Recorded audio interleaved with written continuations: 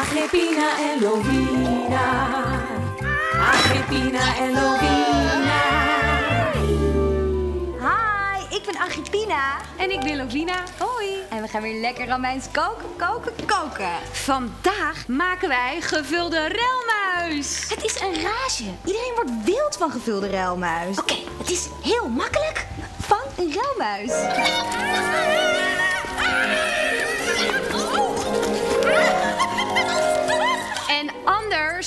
Ze gewoon op de markt. Waarom heten het eigenlijk ruilmuizen? Zijn ze heel rellerig of zo? Of dat ze altijd een ruil trappen? Weet ik niet, maar help me even. Want kijk, hier moet hij in, hè? In deze speciale relmuizen kleipot. Elke rijke Romein heeft er een. Goed, zo. En nu gaan we de ruilmuis vetmesten met de beste eikels en kastanjes. Ja, zodat hij lekker dik wordt. Lekker proppen, proppen, proppen. Nou, en als de ruilmuis dan heel dik is, dan gaan we hem legen. Ja, want daarna gaan we hem vullen. Dus eerst moeten we de relmuis legen. Ah, zielig. Ik ben ook eigenlijk tegen.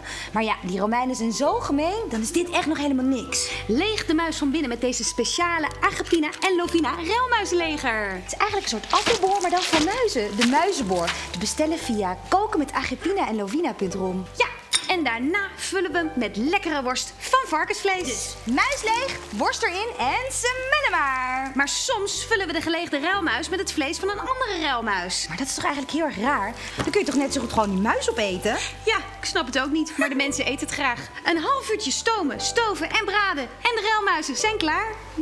En klaar! Gevulde ruilmuis Gevulde ruilmuis.